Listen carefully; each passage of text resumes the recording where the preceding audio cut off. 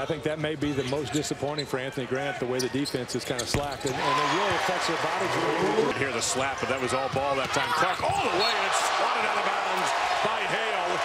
Off the Cooper screen, Releford jumps past. Randolph again. A lot more playing time. Brown, that's a good rotation. Boy, that looked good all the way from the time it left Jabari Brown's hand. Injury and that long halftime break. Apparently no problem at all. Big Monday presented by Verizon, part of Bracket Builder Week. There's another three. Fighting for the rebound, and Mizzou, great play that time by Ross. Brown ahead. That'll make him feel better. Yeah. Billy Donovan with the Florida team undefeated so far.